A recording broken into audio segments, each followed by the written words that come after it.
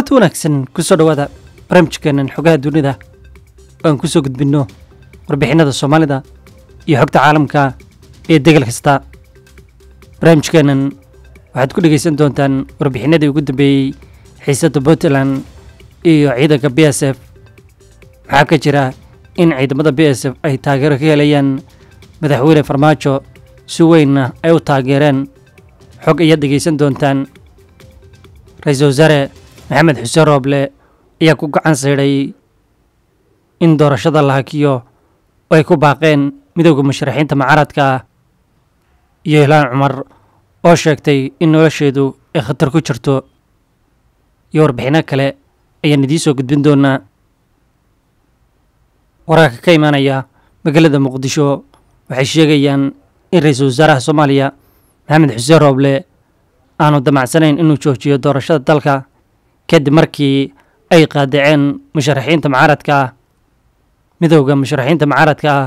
iyo biyaan ay soo saareen soddonkii nofembar waxay ku caddeeyeen inaysan raalli ka ahayn aqbalayna qaabka doorashada ay socoto ee lagu dibindaabiyeynayo shacabka soomaaliyeed. Sida hadalka u dhigaan laguna burburinayo geedi socodka ee nabadda iyo dhismaha dowladnimada ee soomaaliya. Midowda musharaxiinta ayaa sidoo kale qoraalkooda ku sheegay ra'iisul wasaare maxamed xuseen rooble ay ka dalbadeen in la joojiyo doorashada balse uu ku gacan saydhay taas oo ku khasabtay in midowda musharaxiinta mucaaradka ay dalabkooda bannaanka keenaan. Si kastaba warbixinadu waxay sheegayaan in qaadacaadda mucaaradka aysan waxba ka bedelayn mowqifka ra'iisul wasaaraha ee ah in doorashada dalka ay sii socdaan wixii cabashooyina ee jirana gaar loo xalliyo sida warbixinadu sheegayaan ra'iisul wasaaraha ayaa qabaa in haddii ay jiraan koraas si khaldan loo maamulay ama si gaar ah loogu muransan yahay in mid mid loo eego balse aysan ahayn in dhammaan doorashada dalka la joojiyo. Afhayeenka ra'iisul wasaaraha maxamed ibraahim maclimow ayaa qoraal uu soo dhigay facebookiisa wuxuu eedda doorashada ka leexiyey ra'iisul wasaaraha wuxuuna ku muujiyey inay ka go-an tahay inay socdaan doorashada marka la fulinayo waa xaqiiqo inay jiraan cillado badan oo soo bixi kara. Balse haddii ay qaladaad dhacaan waa in sixitaankooda loo maraa habka waafaqsan habraaca doorashada ee aanay noqon mid caadifadaysan ayuu yidhi. Waxaana awooddaa iska leh guddiyada loo xilsaaray hawshaas ee ra'iisul wasaaruhu maaha garsoore mowqifka ra'iisul wasaaraha ayaa astaan oo ah sida ay u kala fogaadeen isaga iyo xubnaha mucaaradka oo mar xulufo noqday islamarkaana garab xoogan siiyey markii ay iskhilaafeen madaxweynaha. Isbeddelka ee mowqifka ra'iisul wasaaraha wuxuu yimi kadib safar uu ku tegey bishii oktoobar dalka qatar halkaa oo wararka xanta ay sheegayaan in dooxa ay ku amartay ra'iisul wasaaraha inuu la shaqeeyo madaxweynaha iyadoo malaayiin lacaga ay guddoonsiisay. Balse ma jiraan wax xaqiiqa oo tilmaamaya arrintani wararka kale ee warbixinada kalena xiisadda ka taagan puntland iyo ciidamada b s f waxaa lagu warramayaa in waanwaan ay wadaan qaar ka mid ah waxgaradka ee puntland si arrintani loo dejiyo. Waxaa sii xoogeysanayaa eedaha loo jeedinayo in ciidamada b s f ay taageero toosa ay ka helayaan madaxweyne farmaajo guddiga amniga ee gobolka bari ayaa ku eedeeyey dowladda soomaaliya in kaalin ay ku leedahay xiisadda ka taagan magaalada boosaaso iyadoo isku dayeysa in xasilooni darro ay ka abuurto puntland sida ay ku eedeeyeen dowladda federaalka. Guddoomiyaha gobolka bari cabdisamed yuusuf axmed oo shir guddoomiyey kulan guddiga amniga ayaa la hadlay warbaahinta isagoo sheegay in la bilaabay magaalada howlgal lagula dagaalamayo puntland. Wuxuu guddoomiyaha intaa ku daray in si dhow ay ula socdaan dhadhaqaaqa shakhsiyaadka gacansaarka la leh villa soomaaliya oo horinaya xiisadda magaalada boosaaso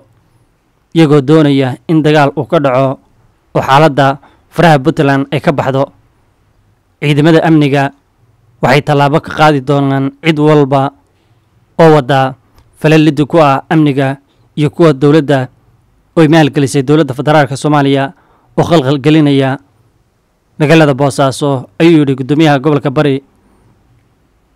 waxa uu ugu baaqay shacabka inay ka fayjignaadaan kuwa kicinaya qalalaasahani ee dadka guryahooda ku garaacaya kulana talinaya in guryahooda ay ka cararaan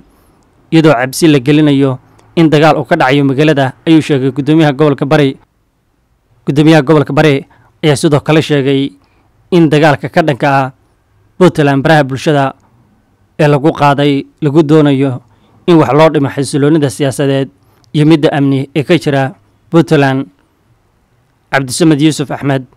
ayaa xusay in magaalada boosaaso ay degan tahay islamarkaana muranka ee taagnaa hoggaanka b s f lagu dhammayn doono wadahadal oo aysan dhici doonin dagaal.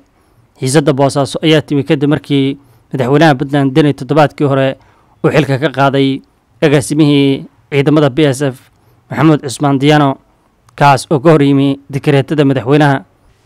Ilaa hadda ma jiro wadahadal rasmi ah oo dhex maray maamulka puntland ee hogaaminaya siciid deney iyo agaasimaha hay'adda b s f. Waxaana lagu waramayaa in xiisadani hadda ay dhex galeen saraakiisha maraykanka oo kala hadlay ciidamada b s f inaysan qaadin tallaabooyin liddi ah. Saraakiisha ayaa sidoo kale laga soo xigtay in agaasimaha ee ciidamada maxamuud cusmaan diyaano uu doonayo inuu wareejiyo xilka isagoo ku xidhaya dhowr sharooda ah. Waxaa socdaa dadaallo lagu dhexdhexaadinayo puntland iyo ciidamada b s f kuwaasi oo ay wadaan iisimada ee puntland waxaana lagu wadaa in saacadaha soo socdaa ay kulmaan dhinaca saraakiisha puntland iyo ciidamada b s f. Iisimada ayaa maalin ka hor waxa ay kulan la qaateen mas'uuliyiin ka tirsan puntland kuwaas oo qayb ay ka ahaayeen wasiirka amniga ee puntland oo markii hore hanjabaad culus u diray ciidamada b s f.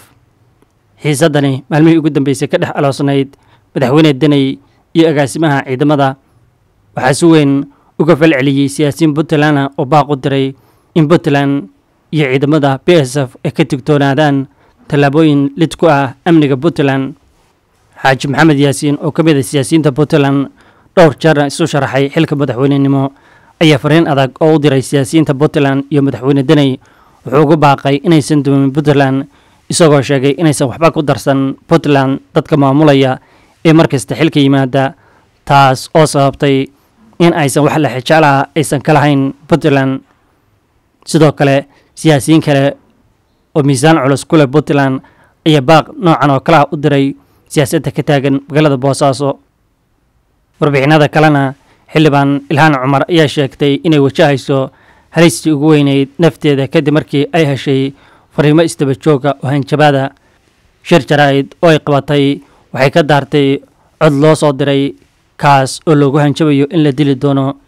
ilhaan cumar oo marti ku ahayd telefishinka m s n b ayaa sheegtay xitaa inaysan aqoon sida xaalkeeda uu yahay. Fariinta loo duubay waxaa ku jiray erayo hanjabaada oo lagu eedaynayo inay tahay jihaadoon lagana takhallusi doono. Markii ugu horreysay ee xisbiga dhexdiisa laga xushay in aan u tartamo kursigani maalin kadib waxay soo gaadhay fariintii ugu horreysay oo hanjabaad dil ah ayay tiri ilhaan cumar madaxweynihii hore ee maraykanka donald trump iyo dhowaan dib u cusboonaysiiyey warrada afka ah ee lagu qaadayo ilhaan cumar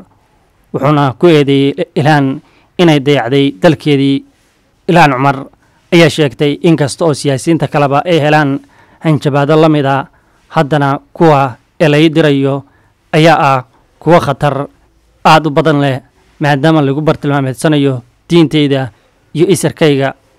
waxayna intaa ku dartay in hanjabaadahani ay yihiin kuwo cad oo laga soo guriyey kuwa uu faafiyo donald trump. Dhanka kale ilhaan waxay ka hadashay haweeney xildhibaan ah oo ku bartilmaameedsanaysay ilhaan cumar inay tahay argagixiso waxayna ilhaan ugu baaqday in laga qaado tallaabo ku habboon. Sidoo kalena la soo saaro sharci xakamaynaya hadallada noocaas ah. Xogaheennan waa naga intaa intaan xogaha kale idiin soo gudbi doono nabadgelyo. Si aad u hesho xogahani ku xidhno xogta shiine nabadgelyo